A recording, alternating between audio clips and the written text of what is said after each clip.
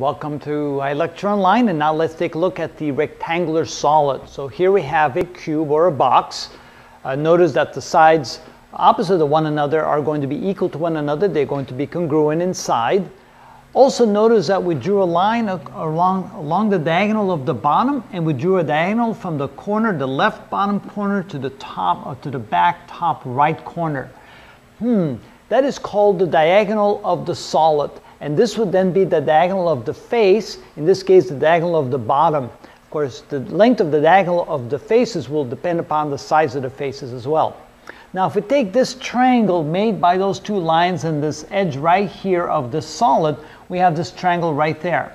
So this line right here, the dotted line that goes from one corner here to the opposite corner on the other side of the solid is called the diagonal of the solid, runs from corner A to corner G or from vertex A to vertex G.